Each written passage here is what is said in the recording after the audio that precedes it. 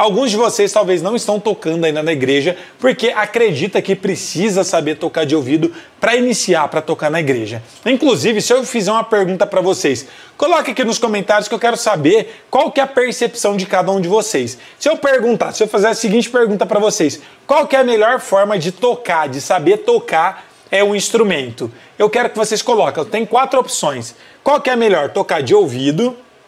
A segunda, tocar lendo cifra.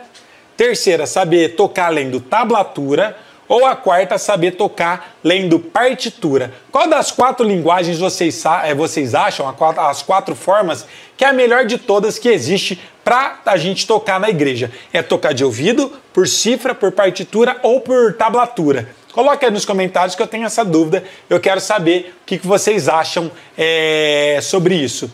Quero saber qual que é a ideia de vocês é, sobre essa questão. Coloque aí nos comentários, deixa eu ler.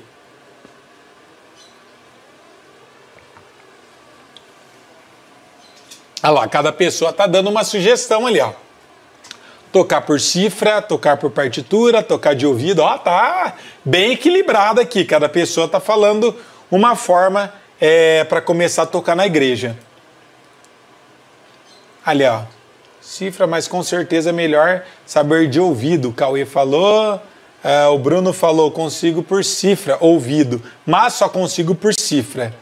É, nenhuma, melhor é tocar todas. Olha lá, o Miguelzão tá esperto, hein?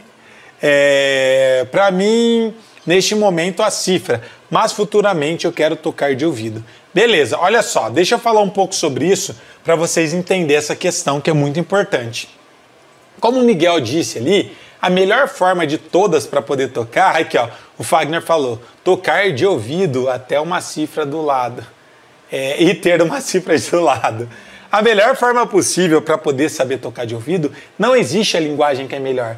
É começar a tocar do jeito que você sabe. Porque na hora da gente tocar um hino, na igreja ou em qualquer lugar, quando eu toco um hino aqui, Ninguém sabe como que eu estou tocando. Quando vocês vê algum irmão tocar na igreja de vocês, às vezes ele não tem nada na frente, ele não tem uma cifra, não tem uma partitura, não tem nada. Aí o que, que a gente acredita? Fala, nossa, aquele irmão ele é muito bom, né? Ele está tocando, lendo, é, ele está tocando de ouvido. Na verdade, não, porque muita gente às vezes ensaia e depois do ensaio decora o hino e vai tocar. Então não existe uma forma que é a melhor. Por quê?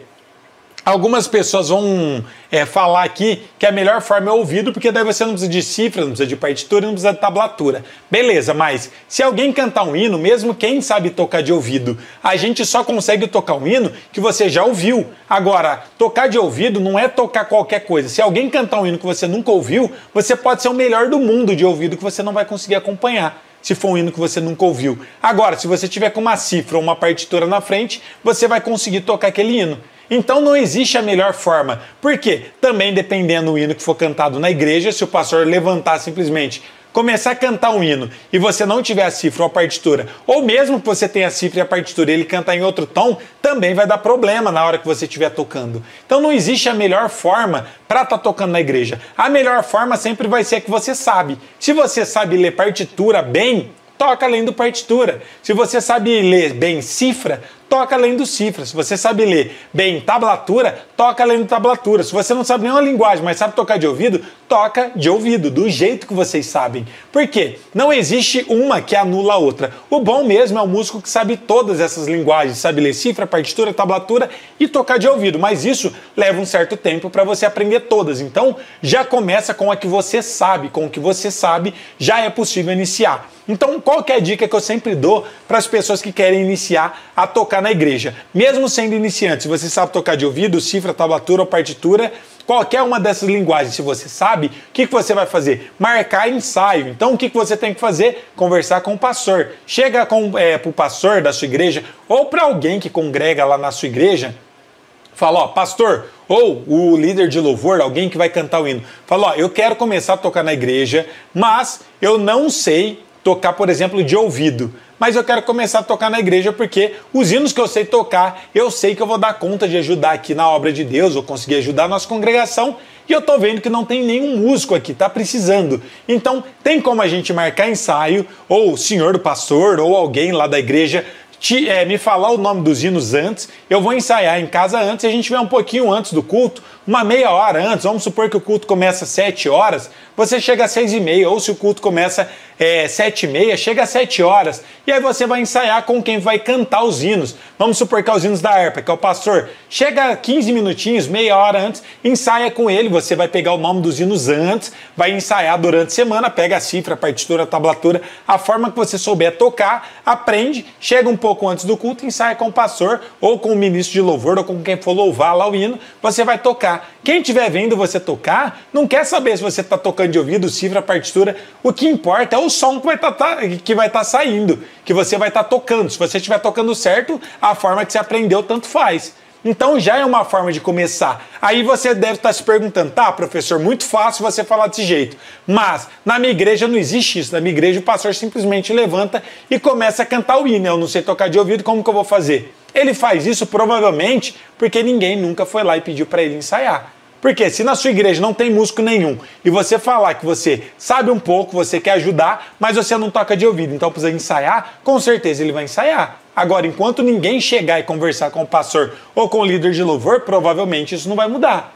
Então, isso é importante vocês saberem, porque a melhor forma que existe para evoluir de verdade, a melhor de todas, de todas, de todas, é tocar na igreja.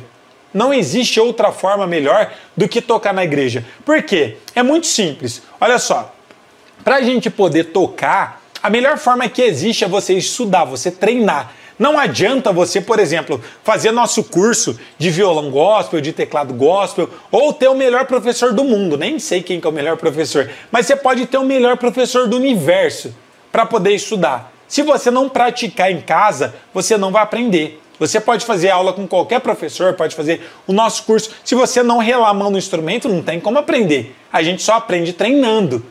Agora, o que, que acontece? Pensa, se você faz um curso, você já está aprendendo.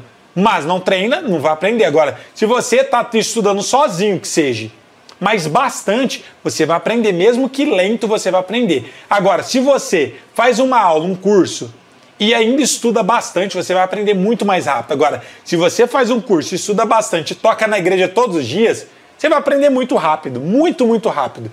Por que, que eu falo isso? Porque é diferente da gente só tocar em casa, tocar na igreja tem algo especial. O que, que é esse algo especial? Primeiro, os melhores músicos são os cristãos, porque a gente é obrigado a tocar todos os estilos. Se vai cantar os hinos do ciclo de geração, tem vários corinhos de fogo. É, ou corinho de fogo vai ter o ritmo de forrozinho, você vai aprender a tocar esse estilo de baião, forró, sertanejo às vezes, se você pegar alguns hinos é, tipo Gerson Rufino, por exemplo. Agora, se você vai tocar os hinos dos jovens, por exemplo, ou os hinos mais novos, já é um pop rock, mais ou menos. Mas vai ter samba, vai ter todos os estilos musicais, tem dentro dentro da igreja. Agora, uma pessoa que não toca na igreja normalmente não passa por isso e acaba tendo dificuldade. Então a gente é os músicos mais completos porque dentro da igreja existe essa variedade de estilos musicais. Agora, qual que é a importância de vocês tocarem na igreja e por que, que vocês vão evoluir muito mais rápido do que em qualquer outro lugar? Pelo fato de vocês estarem tocando sempre. Vamos supor, muita gente chega para mim e fala, professor, eu até tenho um sonho de aprender a tocar, mas a desculpa é sempre a mesma, eu não tenho tempo. Quem tem tempo hoje, galera? Acho que ninguém tem tempo hoje. Todo mundo vive uma vida muito corrida. Tem que as, as irmãs aí, ó, às vezes quando é do lar, tem que limpar a casa, cuidar do filho, levar para a escola, dar banho no filho. Tem que é um monte de coisa, fazer almoço pro marido, tem janta. Aí às vezes tem algum compromisso na igreja, tem ensaio, tem Ninguém tem tempo. Os irmãos trabalham, faz um monte de coisa. Isso é normal. Quase ninguém tem tempo. Mas Algumas coisas têm a ver com prioridade. Se a nossa vontade mesmo é aprender a tocar ou fazer qualquer coisa, a gente precisa do quê? Precisa ter disciplina e ter prioridade. Então, nosso tempo, todo mundo tem 24 horas. A gente normalmente vai focar no que é prioridade pra gente. Por que, que ninguém deixa de trabalhar? Porque é o nosso sustento, porque é a nossa prioridade. É, normalmente, normalmente não, né? Acho que é a maior prioridade do ser, de um ser humano para a sobrevivência normalmente é essa, é o trabalho.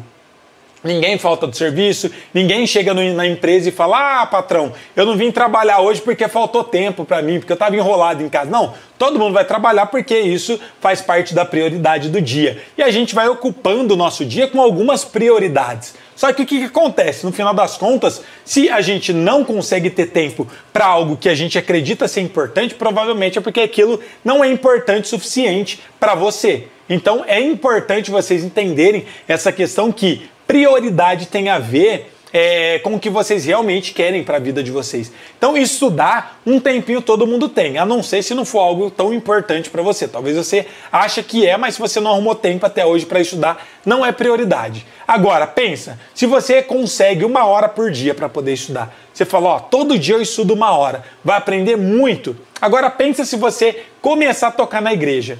Além dessa uma hora que você vai estudar todos os dias, você ainda vai tocar quase que duas horas na igreja. Todos os dias, todos os cultos. Porque daí você vai na igreja, vai tocar os hinos da harpa, vai estar no culto, aí o pastor vai cantar um corinho. Se você tocar para todo mundo, aí o irmão vai cantar um hino avulso, você vai tocar. Aí tem um grupo que vai cantar o surdo de oração, você vai tocar. Tem os jovens, você vai tocar. Quando você vê, você está tocando todo dia praticamente. Então, mesmo quem não tem tempo, quando começa a tocar na igreja, você acaba treinando muito mais. Por isso que eu sempre falo que tocar na igreja é a melhor forma para vocês desenvolverem, para vocês evoluir.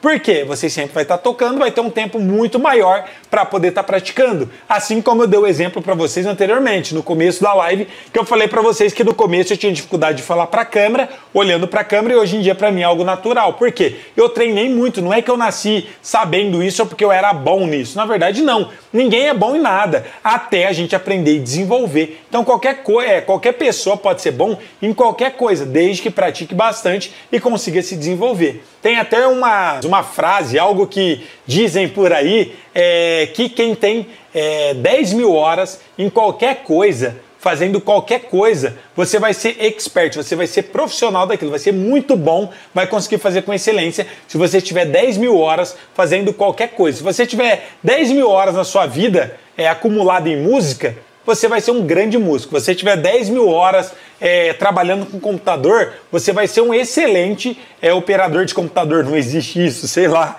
Mas você vai ser bom em qualquer coisa que você quiser, desde que você faça isso durante 10 mil horas. Claro que 10 mil horas é muito tempo, porque para para pensar, um dia tem 24 horas. Para você acumular 10 mil horas é muito treino, é muito treino e é muitos anos fazendo a mesma coisa, mas é possível. Então, se é possível qualquer pessoa ser bom em qualquer coisa, desde que treine 10 mil horas, o que, que a gente precisa fazer? A mesma coisa, treinar 10 mil horas, qualquer coisa que você queira. Comece e vai treinando, praticando que você vai conseguir. Tá bom? Esse vídeo é apenas um trecho das minhas aulas que eu faço semanalmente, toda segunda a sexta-feira aonde eu ensino algum conteúdo de valor para você. Então, se você quer assistir esse vídeo inteiro completo, é só você entrar no grupo do Telegram ou do WhatsApp que está aqui na descrição desse vídeo. E não se esqueça de curtir, compartilhar e se inscrever no canal para não perder nenhuma novidade.